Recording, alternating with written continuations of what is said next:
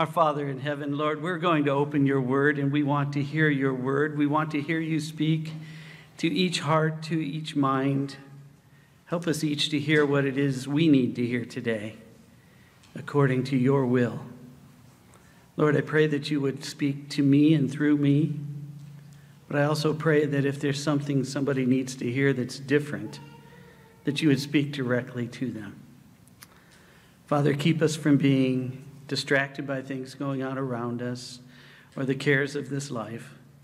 Help us to hear again you speaking to your church. We pray in Jesus' name. Amen.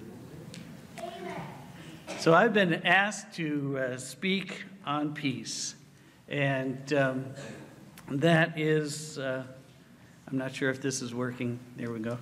Um, the, the title of the sermon is The Peace Beyond, and it really relates to beyond understanding. Um, for those who are bottom line kind of thinkers, you want to hear the, the point before we get there. Uh, this is the point of the sermon. Uh, we can have peace beyond understanding, a peace which comes from a strong confidence in the justice and mercy of God through Jesus Christ by his Holy Spirit. So if you have to get up and leave, you've heard the sermon, okay? but I hope you don't leave. Uh, um, when I was younger, up until just a decade ago or so, uh, I had an aunt, Lottie.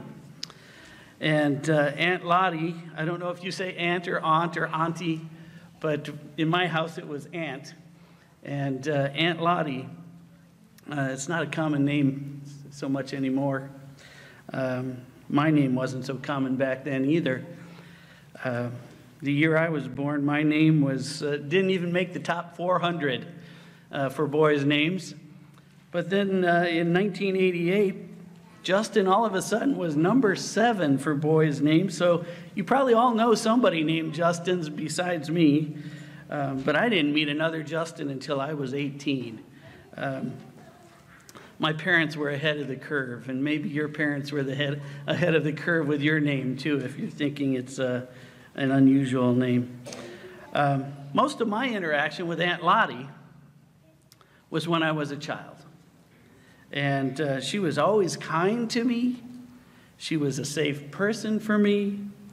When we would hug, I would squish and sink into her softness because she had a little bit extra, kind of like I do. And uh, I just loved Aunt Lottie, and she loved me. And that was a warm, safe place to be.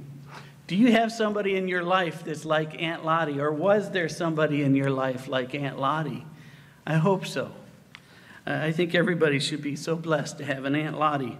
Well, my Aunt Lottie sang in the church choir, and we've heard lots of beautiful music today. Uh, I could have just said, I'll skip the sermon, and some of you might think so too. but uh, um, anyway, Aunt Lottie, one of my memories of Aunt Lottie was she came home, she came to our house, she stopped by on the way home. Uh, she had just come from church choir practice, and they were learning to sing a new response. Uh, and it was based on Numbers 6, uh, chapter 6, verses 24 to 26. And it's very similar to what's in our Adventist hymnal, the Seventh day Adventist hymnal, number 669. The Lord bless thee and keep thee. The Lord make his face shine upon thee and be gracious unto thee. The Lord lift up his countenance upon thee and give thee peace. Now, you've probably heard pastors pronounce that blessing at the end of a sermon, or perhaps you've heard it sung. Maybe you've sung it yourself as a, a responsive hymn, I'm not sure. But uh, this whole idea, there's nothing in this that we wouldn't want. Who doesn't want blessings and protection and grace and peace? We all want peace, right? Has the Lord given you peace? Are you thinking there will be no peace until Jesus comes the second time? Surely there will be peace then, right? I'm looking forward to that day.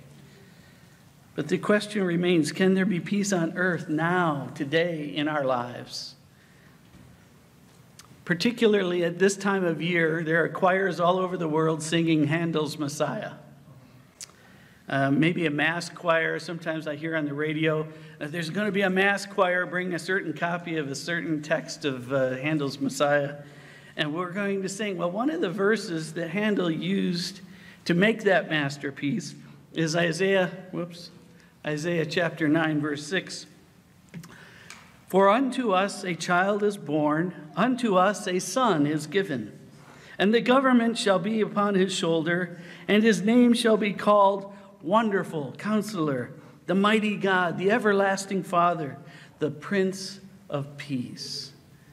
Now, isn't that a beautiful text with some unusual names? But uh, I, I look back as when I was younger and hadn't read the text, I'd only hear the music, and I always wondered about this guy named Khalid.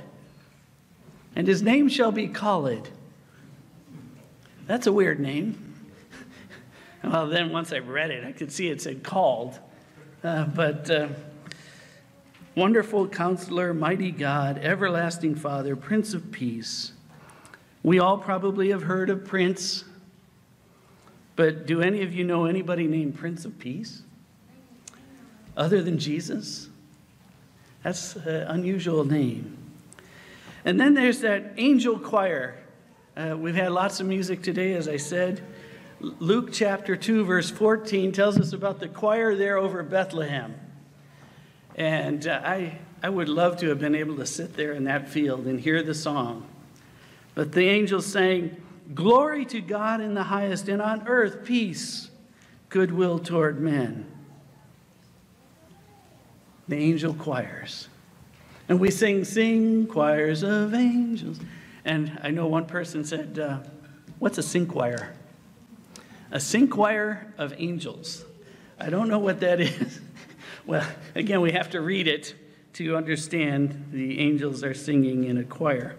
But this peace, glory to God in the highest, and on earth, peace, goodwill toward men. Can we experience peace on earth today? The Bible uses a number of words that get translated into English as peace. And I'm not going to spend a lot of time on this, but baraka usually is translated as blessing, but it could also be translated as peace. Yashar is more commonly translated as straight or right, but it can be translated as peace. The most common is shalom in Hebrew or eirene in Greek. And these both have the meaning of wholeness, uh, completeness, peace, welfare, prosperity, tranquility, contentment. Pretty diverse set of um, definitions. Our English definition, though, is generally absence of conflict or absence of war. And um, with that in mind, I'll go to uh, Ecclesiastes chapter 3, verse 8, where the Bible says, There is a time for war and a time for peace. Well, if the angels are singing peace on earth, why is there ever a time for war? And that, that kind of that question has bothered me at times, uh, especially in my pre Christian experience, even though I grew up in the church. Um, I. Uh, there was a time in my life where I didn't believe in God. And uh, this whole idea of peace was part of the conflict I had uh, because I didn't see the peace. Anyway, um, Jesus also said in Matthew chapter 24, verse 6, that we would hear of wars and rumors of war. So that doesn't sound like peace on earth either. And yet, I thought, that's why Jesus came. And then there's the human compromises of peace we see, where people just sort of shut their mouths because they don't want conflict, or they avoid people because they don't want conflict. And uh, they negotiate things because they don't want conflict. One of these compromises is told in uh, Joshua chapter 9, where the Hivites living among the Gibeons uh, living in Gibeon at the time of the Israelite conquest, negotiated peace. How did they negotiate peace? They basically bought peace by committing to become slaves. They're going to cut the wood and they're going to haul the water for the Israelites, and that's how they would have peace. That's not the kind of peace I want. Is that the kind of peace you want? You can have peace if you're willing to be a slave. That, that just rubs against my American grain the wrong way. Uh, uh, live free or die, you know? Give me liberty or give me death. But slavery? I think we can do better than slavery, unless it's slavery to God, in which case we have a loving master. But let me go on. Matthew chapter 10, at, starting at verse 34, Jesus said, Think not that I am come to send peace on the earth. I came not to send peace, but a sword. And I said, Whoa, wait a minute. Wasn't he supposed to bring peace on earth? And then the same story in Luke, it says, Suppose ye that I am come to give peace on the earth? I tell you, nay, but rather division. So, swords and division, is that what you want? That's not what I want. But it is what we want ultimately if we're following God. Let, let me go on here. I'm not trying to paint Jesus in the wrong picture. Please do not misunderstand me. I am saying there's more in this book than what we sometimes appreciate. I believe that peace comes through relationship with God. Peace comes through relationship with God. And some of us might need to change our relationship status with God. In the Old Testament, peace offerings were multiplied. They would bring offerings for peace with God, and they'd bring them and bring them and bring them. And after a while, even the priests themselves didn't seem to appreciate the offerings. They were multiplied to the point of pointlessness until Jesus came. Jesus came and he made the most important peace offering. And we read about it in Colossians chapter 1 verse 20. And having made peace through the blood of his cross by him to reconcile all things unto himself by him, I say whether they be things in earth or things in heaven. The apostle Paul says he made Jesus came and made peace through the blood of his cross. The whole reason Jesus came was to reveal the character of the Father, to resolve the conflict between good and evil, and to deal with the problem of sin. And that means dealing with the sinner as well. And we are all sinners who've fallen short of the glory of God.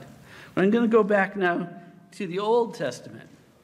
In Judges chapter 6, verse 24, we're looking at Gideon's altar, and it says, Then Gideon built an altar there unto the Lord and called it Jehovah Shalom. In other words, God is peace. God, it doesn't say God gives peace, God is peace. That's awesome, Gideon. But what were you thinking in verse 13? And Gideon said unto him, O my Lord, if the Lord be with us, why then is all this befallen us? Sounds a little doubtful, doesn't it? And where be all his miracles which our fathers told us of, saying, Did not the Lord bring us up from Egypt? But now the Lord has forsaken us and delivered us into the hands of the Midianites. Do you ever waver like this? Between the faithful statement and the statement of despair? Faithful Gideon had this trouble. Are we better than Gideon? Do you ever waver? And are you lacking the peace that Gideon was lacking? I want to encourage this congregation today. In John 16, verse 33, Jesus said, These things I have spoken unto you that in me, that is, in, in Jesus, in Jesus, ye might have peace. In the world ye shall have tribulation, but be of good cheer, I have overcome the world. Because Jesus has overcome, we can overcome. Because Jesus has overcome, we have his righteousness. In this, in this statement, we have the source of peace. It's Jesus Christ. Is the statement still true when we face conflict? Yes, it is. Is the statement still true when we're in controversy? Yes, it is. When we're challenged, when we're in heartaches, when we have these crisis moments that make us want to throw up our hands and run, Jesus is still there. Jesus is still the answer.